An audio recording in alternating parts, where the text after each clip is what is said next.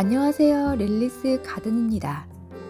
이번 시간에는 프랑스 자수의 초급에 해당되는 기초 스티치들을 사용해서 라벤더 액자를 만들어 볼 건데요.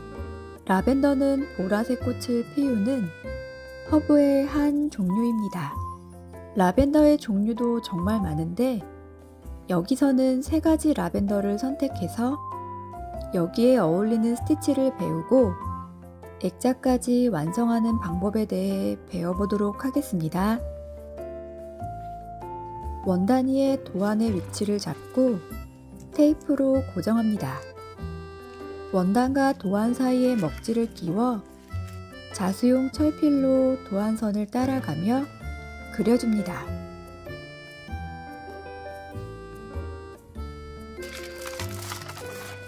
선이 흐릿한 부분은 자수용 수성펜으로 한 번 더 그려줍니다.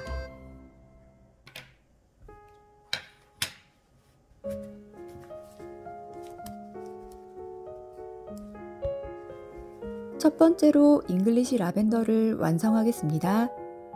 줄기는 outline 스티치를 해줄 건데요. 먼저 한 가닥의 실을 줄기 아래에서 빼내어 줍니다. 3mm 위로 가서 바늘을 넣고 다시 되돌아와 스티치 끝에서 빼내어 줍니다. 이번에는 약 6mm 위로 가서 바늘을 넣고 되돌아와 첫 번째 스티치 끝에서 빼내어 줍니다. 이렇게 한 땀 위로 갔다가 반땀 되돌아오는 아웃라인 스티치를 사용해서 줄기를 모두 만들어 줄 건데요. 한 가닥의 실을 사용하기 때문에 자칫 스티치가 느슨해질 수도 있는데 늘어지지 않도록 약간 힘을 주어 실을 팽팽하게 당겨가며 스티치를 해줍니다. 줄기 끝까지 아웃라인 스티치가 끝나면 마지막 스티치 끝으로 바늘을 넣어 원단 뒤쪽에서 매듭 지어줍니다.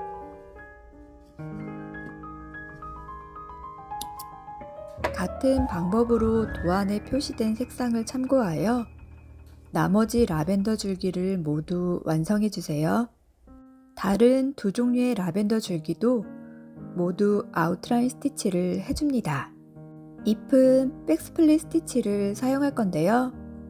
네 가닥의 실을 줄기에서 약 4mm 떨어진 지점에서 빼내어 줍니다.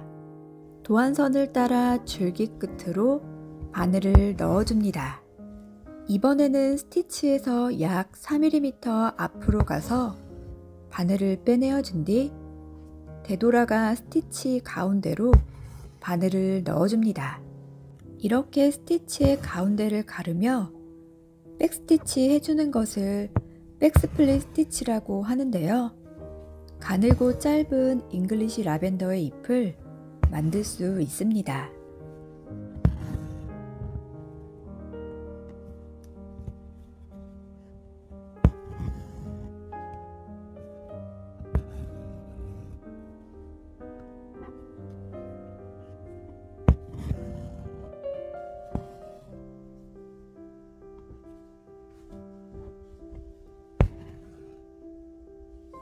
색상을 바꾸어 모든 잎을 back split 스티치로 만들어주세요. English 라벤더의 꽃은 French knot 스티치를 해주겠습니다. 세 가닥의 실을 원단 위로 빼내어 줍니다.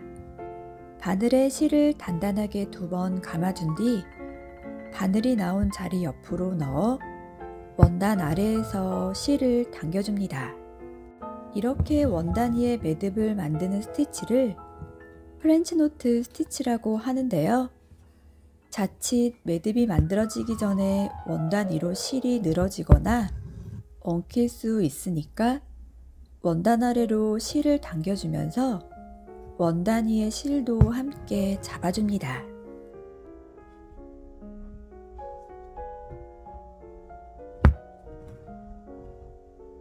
두 번째로 sweet 라벤더를 완성하겠습니다. 꽃은 lazy daisy 스티치를 사용할 건데요. 세 가닥의 실을 아래쪽에서 빼내어 줍니다. 같은 구멍으로 바늘을 넣어 고리를 만들고 고리 안쪽으로 도안선 위에서 빼내어 줍니다. 고리 바깥쪽으로 한 땀 넣어 고리를 고정하면 lazy daisy stitch가 만들어집니다. 도안선을 따라서 lazy daisy stitch를 쌓아 올려주듯 스티치를 해나갑니다.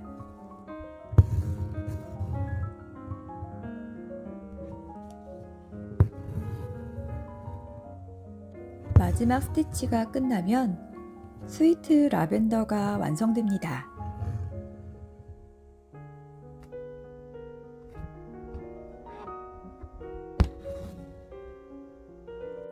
잎은 가장 기본적인 leaf stitch를 해줄 건데요.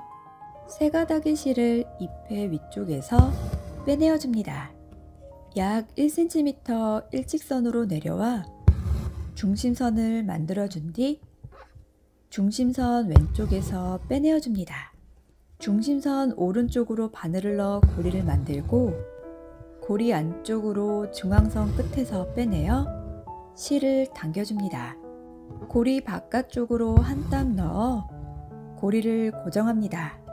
다시 왼쪽에서 바늘을 빼내어 오른쪽으로 넣고 고리를 만들어 준 뒤 고리 안쪽에서 빼내어 실을 당겨줍니다. 고리 바깥쪽으로 한 땀 넣어 고리를 고정합니다. 이렇게 한 땀씩 내려가며 잎을 채워주는데요. 삐죽삐죽한 잎을 표현하려면 도안선에 맞춰 한 번은 짧게 스티치를 해주고 한 번은 길게 스티치를 해주면서 도안의 면을 채워 나갑니다.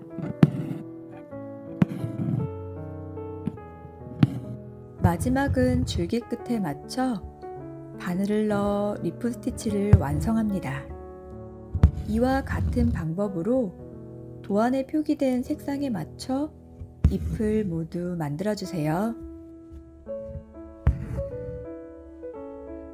세 번째로 피나타 라벤더를 완성하겠습니다. fly stitch로 잎을 먼저 만들어주겠습니다. 세 가닥의 실을 도안선 왼쪽에서 빼내어줍니다. 오른쪽 도안선에 맞춰 바늘을 넣어 고리를 만들어준 뒤 선이 꺾이는 부분에서 바늘을 고리 안쪽으로 빼내어 실을 당겨줍니다. 일직선으로 내려와 바늘을 넣어주면 영문자 Y가 만들어집니다. 아래로 내려와 다시 왼쪽 도안선에 맞춰 바늘을 빼내고 오른쪽으로 넣어 고리를 만들어준 뒤 꺾이는 부분에서 바늘을 빼내어 실을 당겨줍니다. 일직선으로 내려와 바늘을 넣어줍니다. 이를 연속으로 배열하는 것을 fly stitch라고 하는데요. 도안에 표기된 수만큼 fly stitch를 해줍니다.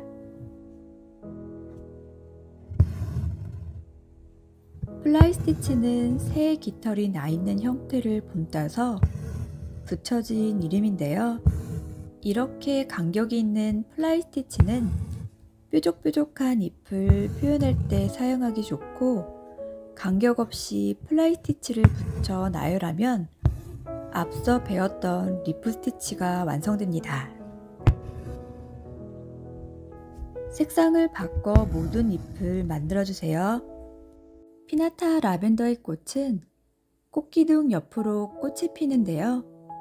체인 스티치로 기둥을 먼저 만들어주겠습니다. 세 가닥의 실을 아래쪽에서 빼내어줍니다.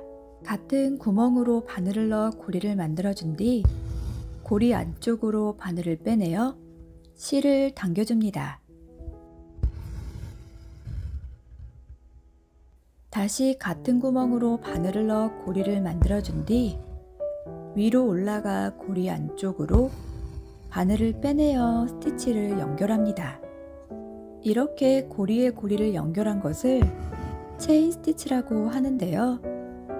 도안선 끝까지 스티치가 만들어지면 고리 바깥쪽으로 한 땀 넣어 체인 스티치를 마무리합니다.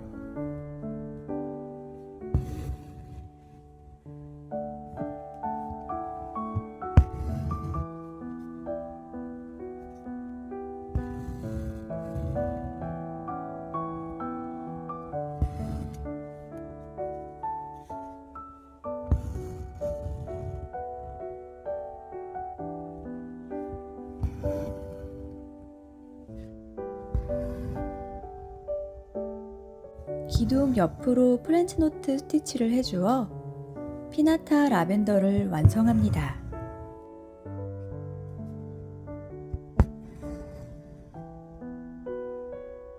마지막으로 아웃라인 스티치를 사용해서 레터링을 해주겠습니다. 줄기를 수놓을 때와 마찬가지로 한 가닥의 실만 사용할 건데요. 레터링은 약 2mm의 간격으로 짧게 스티치를 해줍니다.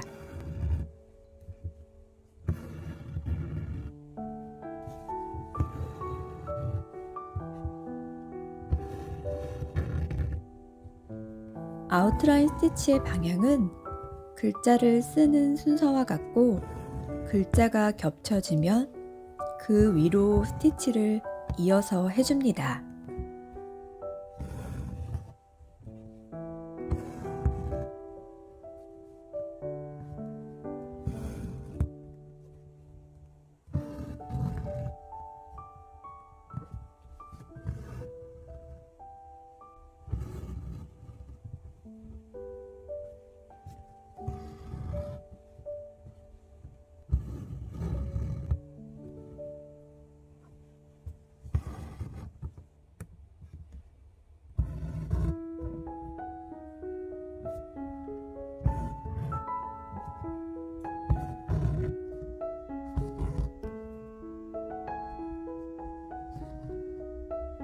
스티치가 끝나면 글자의 음영을 주기 위해서 도안에 굵게 표기된 부분은 스티치에 바짝 붙여 한 번 더 아웃라인 스티치를 해줍니다.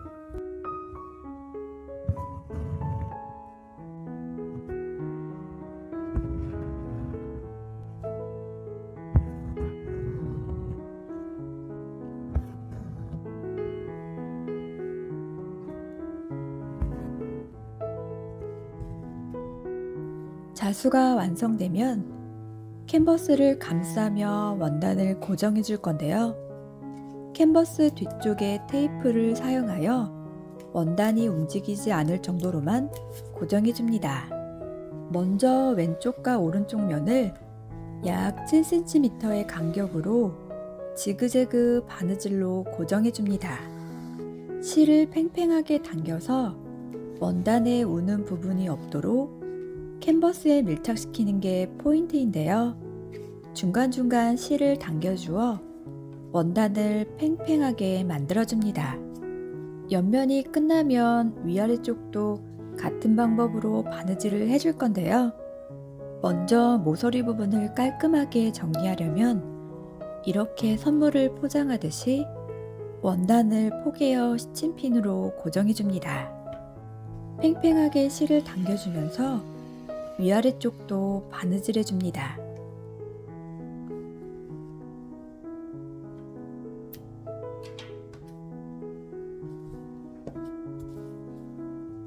라벤더 액자가 완성되었습니다.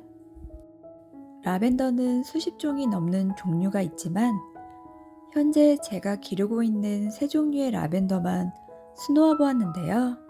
이 세 가지 라벤더만으로도 프랑스 자수의 기초 스티치들을 배울 수 있었습니다. 오늘도 릴리스 가든에 찾아와 주셔서 감사합니다. 모두 모두 행복한 하루 되세요.